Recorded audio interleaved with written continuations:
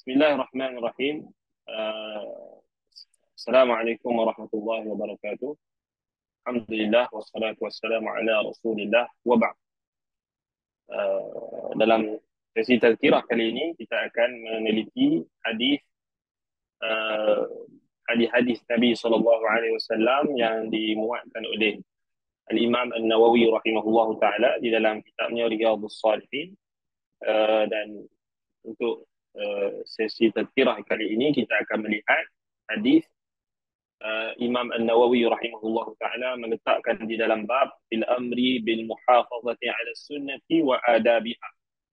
Bab uh, perintah agar menjaga sunnah dan ada adabnya uh, menjaga sunnah.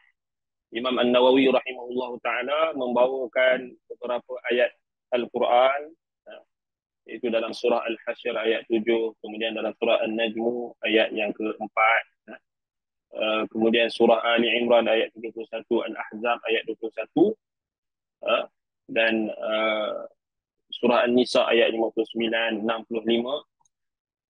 yang mana mana maknanya kata Imam An-Nawawi rahimahullah yakni merujuk kepada perintah agar menuruti dan menjaga Al-Quran dan juga As-Sunnah dan kemudian Imam An-Nawawi rahimahullah membawakan hadis Abu Hurairah radhiyallahu anhu. Yani Nabi sallallahu alaihi wasallam bersabda, "Innama ahlaka man kana qablakum kathratu su'alihim wa ikhtilafuhum ala anbiya'ihim. Fa idza nahaitukum an shay'in fajtanibuh. Wa idza amartukum bi amrin fa'tu minhu mastata'tum."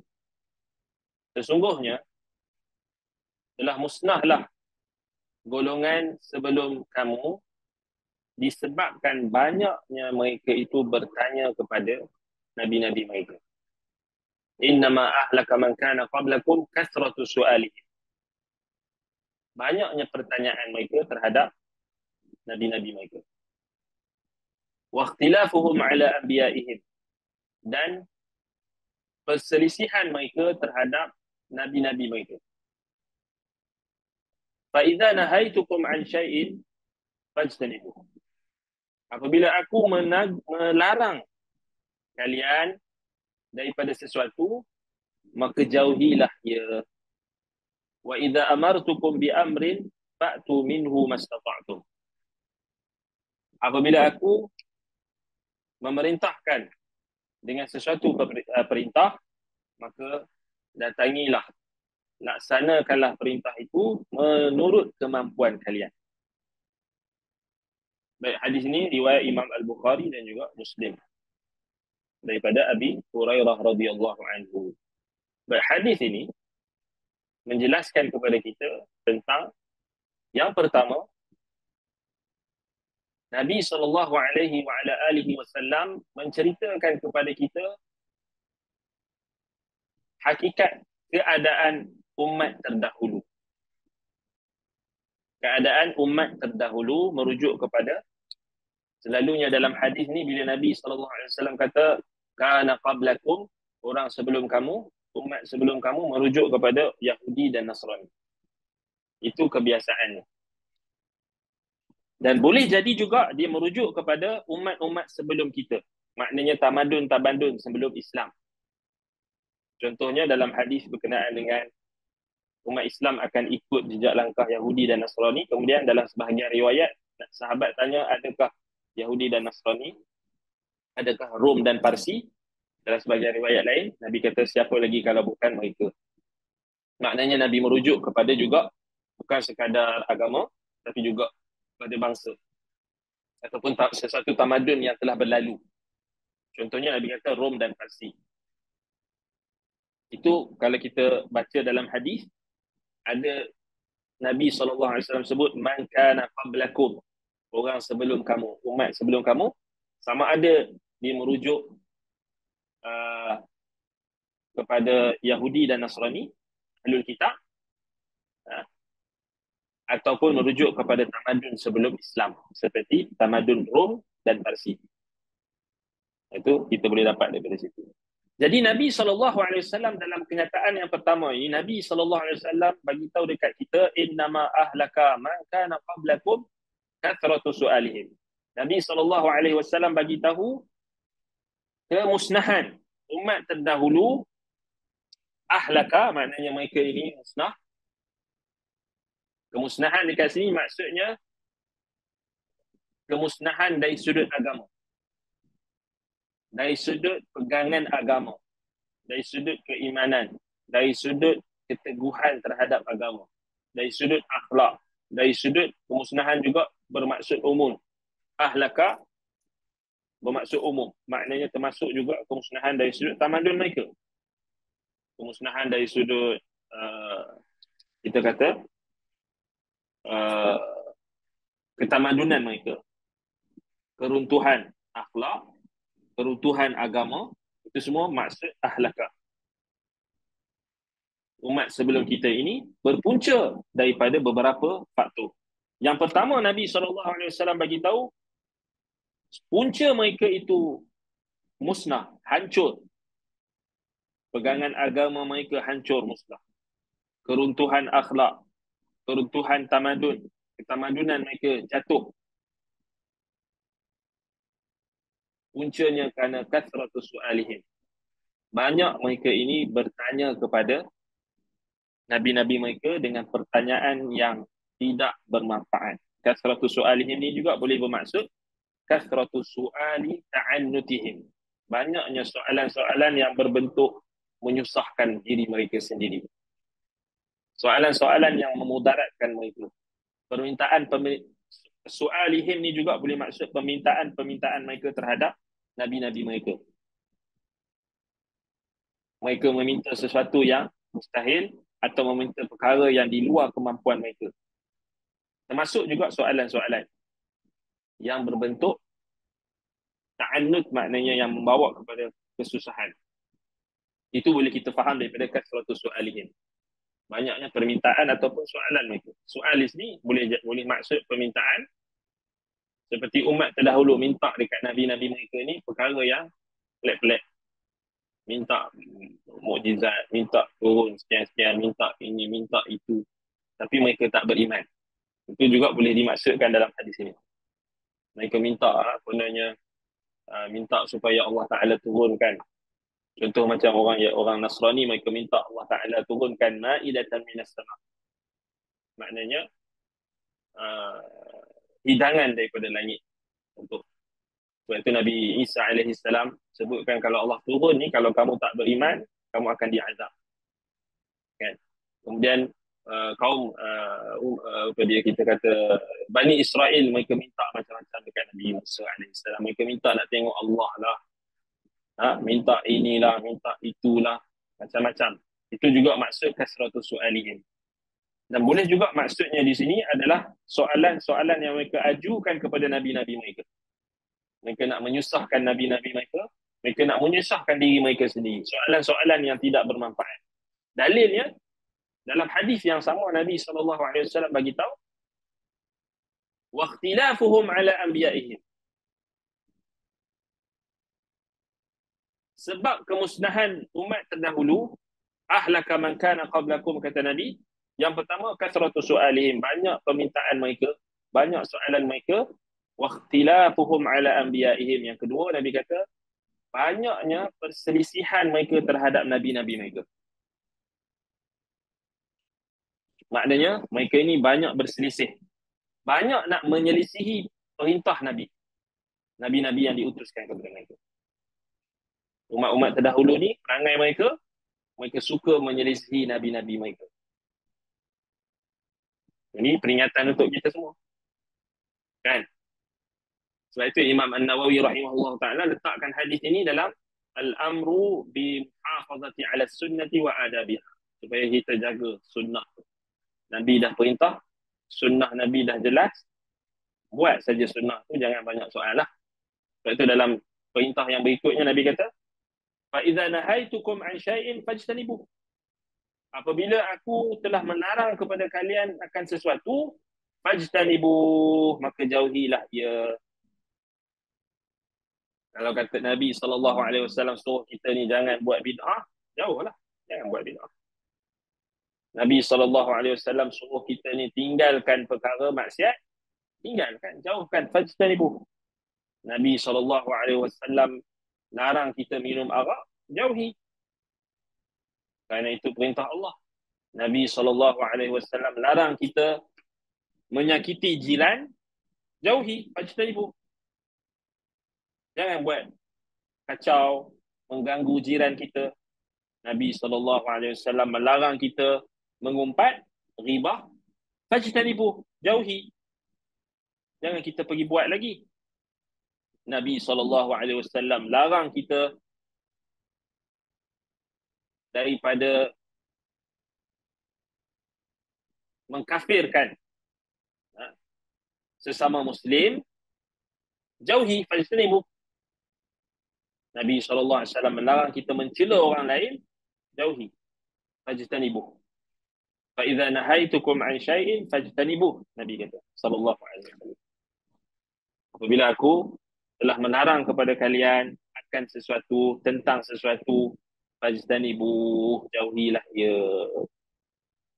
Sebab yang terakhir Nabi SAW dalam hadis ini mengatakan dan mengingatkan kepada kita Wa idza amartukum bi amrin fa'tu minhu mastata'tum. Apabila aku telah memerintahkan kepada kalian dengan satu perintah. Dengan sesuatu perintah. Maka datangilah. Fa'tu minhu maknanya lakukanlah. Laksanakanlah ia minhu daripadanya maknanya daripada perintah-perintah kerana perintah Nabi ni banyak ada yang mungkin bersifat uh, yang wajib, ada yang sunnah, ada yang sunat, ada yang mustahab, ada yang harus, perintah yang lazim, perintah yang tidak lazim. Maka apa kata Nabi? Pak tu minhu mastata'tu. Maka laksanakanlah daripadanya apa yang kalian mampu mengikut kemampuan kalian. Tak tu minhu mastata'tu. Istita'ah. Maknanya Nabi SAW rahmatkan kepada umatnya, Nabi SAW tahu perintah-perintah ni banyak.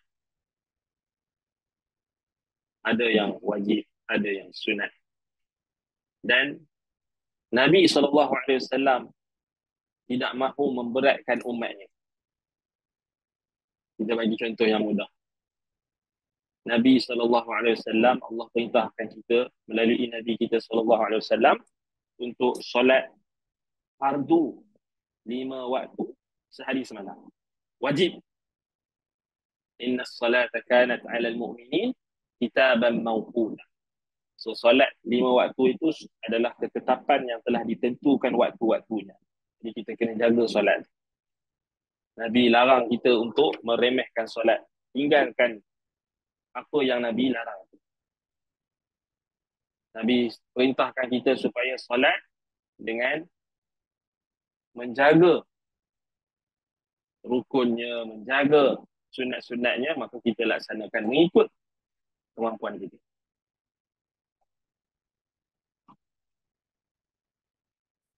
Jadi solat yang fardu wajib. Tak boleh kita kata bagi alasan saya tak mampu solat fardu. Tak boleh. Sebab dia perkara yang fardu perkara yang wajib. Mana ada orang Islam kata saya tak mampu solat lima waktu sehari semalam? Jadi kita kena faham. Perintah yang fardu mesti kena laksanakan. Tetapi dalam pelaksanaan itu ha, ada istita'ah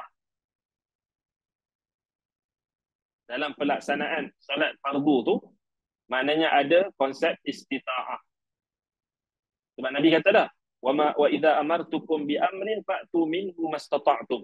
Maknanya apa yang Nabi perintahkan, ada tak kadar kemampuan? Ada. Cuma dari sudut kewajipan tu tak boleh siapa pertikaikan. Macam solat fardu kita bagi contoh tadi, solat lima waktu sehari semalam, fardu ke atas kita semua, orang Islam, dia tak boleh bagi alasan lah saya tak mampu. Kecuali kalau dia memang tak mampu. Tak mampu apa? Kalau dia mati.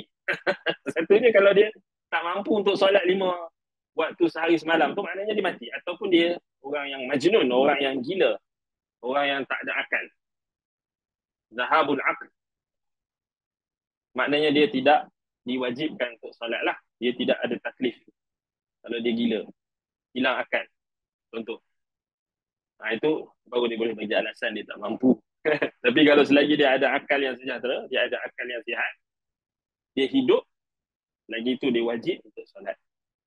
Cuma ada tak kategori yang mengikut kemampuan? Okey, katakan dia sihat tapi dia tak mampu nak berdiri solat kerana dia dia sihat tubuh badan yang lain tapi dia tak mampu nak berdiri kerana dia sakit kaki misalnya. Boleh tak dia solat duduk?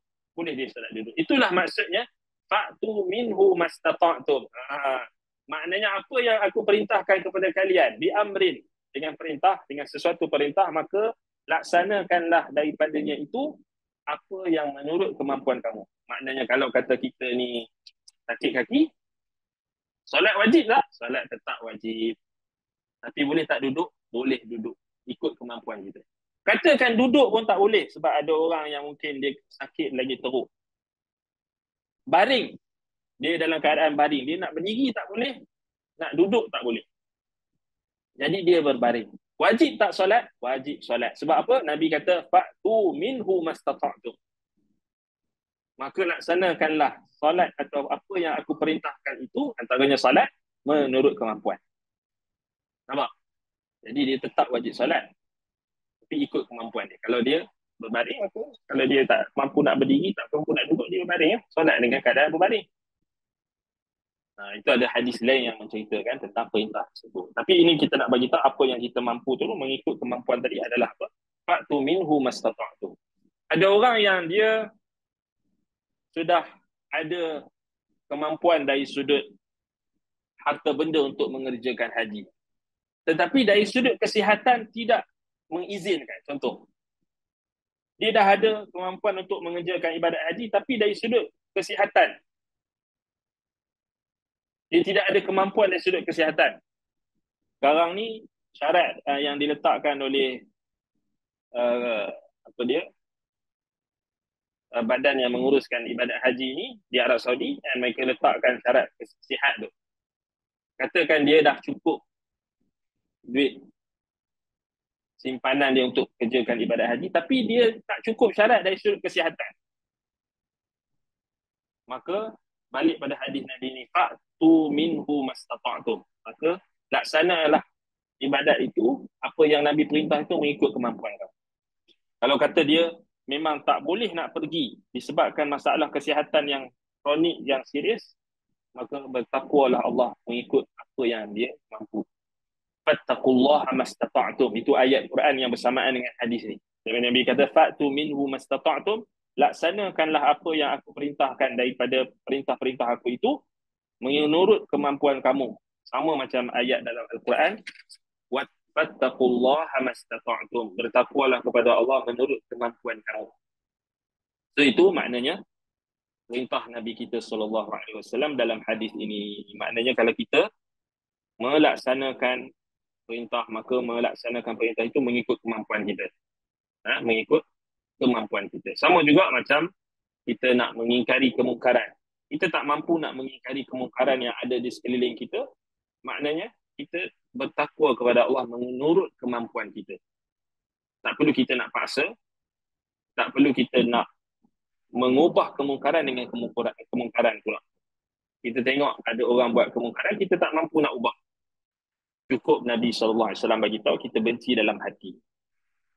Contoh Nabi kata man ra'a minkum munkaran falyughayyirhu bi yadihi fa in lam yastati' fa bi lisanihi fa in lam yastati' fa bi qalbihi wa dhalika adhaful iman. Kalau siapa yang melihat satu kemungkaran maka hendaklah dia ubah dengan tangan. Kalau dia tidak mampu dengan lisan, kalau tidak mampu dengan hatinya dan itu adalah lemah-lemah iman. Maknanya dia ikut step tadi. Kalau dia ada kuasa, dia boleh ubah, silakan. Tapi dia tidak mampu dengan lisan, kalau tak mampu lagi dalam hati. Jadi itu makna Nabi kata fa'tu minhu mastata'tu. Amar ma'ruf nahi munkar ni perintah Nabi juga. Nabi suruh kita amar ma'ruf nahi munkar. Tapi kalau kita tak mampu buat sekadar kemampuan kita. Jangan kita paksa. Fa'tu minhu mastata'. Sama juga orang yang menuntut ilmu. Kan?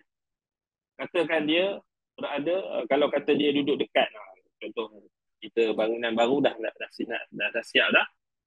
Ha, InsyaAllah kita nanti akan buat uh, kuliah-kuliah yang secara fizikal lah. Ha? Kuliah-kuliah kita akan ada fizikal lepas ni. Bagi orang yang berdekatan dengan yayasan taklim, dialu-alukan hadirlah. Ha, kena hadirlah pakat-pakat hadir. Pakat-pakat memeriahkan majlis ilmu yang dianjurkan ha, di bangunan yayasan taklim. Tetapi ada tak orang yang tak mampu? Kita tak nak fikirkan ada orang yang tak mampu. Contohnya orang yang ada di Sabah dan Sarawak. Orang yang ada di mana? Di Kedah. Orang yang ada di jauh daripada KL lah. Orang yang sekitar Kuala Lumpur ni mungkin boleh hadirkan diri. Tapi orang yang di luar daripada Kuala Lumpur dan Selangor. Pak tu minhu mastata'. Maknanya dia menuntut ilmu menurut kemampuan dia. Jadi ada yang online, maknanya dia ikut yang online. Itu yang kemampuan dia. Kan? Jangan dia tak menuntut ilmu langsung. Contoh. Ha, itu maksud kita nak bagi tahu wa idza amartukum bi amrin fa'tu minhu mastata'tum Nabi dah bagi tahu cantik dah. Semua perkara kalau kita faham dengan hadis ini kita takkan mudah nak menyalahkan orang tu, menyalahkan orang ni, kita tak mampu macam ni, kita salahkan orang ni, kita tak tak. Orang dah buat ha, perkara itu dah disusun dengan cantik. Allah Ta'ala dah jadikan manusia ni berdasarkan kemampuan masing-masing. Dan Nabi SAW perintahkan kepada kita dengan perintah mengikut kemampuan kita. Itu maksud dia. Jangan kita paksa diri pula. Ha? Dengan perkara yang di luar kemampuan kita fattaqullaha mastata'tum. Bertakwalah kepada Allah menurut kemampuan kamu. Dalam hadis ini Nabi kata fa'tu minhu mastata'tum.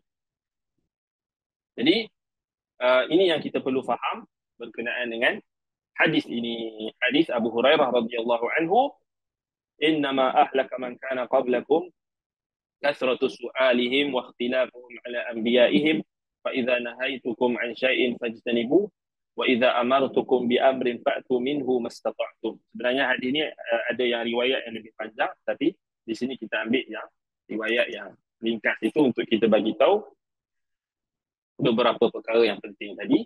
Semoga Allah Subhanahu wa taala memberkati apa yang kita sampaikan menjadikan uh, hadis yang kita bincangkan ini sebagai salah satu uh, amalan salah kita yang boleh kita amalkan yang boleh kita jadikan sebagai uh, azimat dalam kehidupan kita, panduan uh, uh, untuk kita berhadapan dengan uh, apa yang uh, uh, yang berlaku uh, dalam kehidupan kita. Wallahu taala alam bisawab. Aku qauli hadza wa astaghfirullah li wa lakum. Wassalamualaikum warahmatullahi wabarakatuh.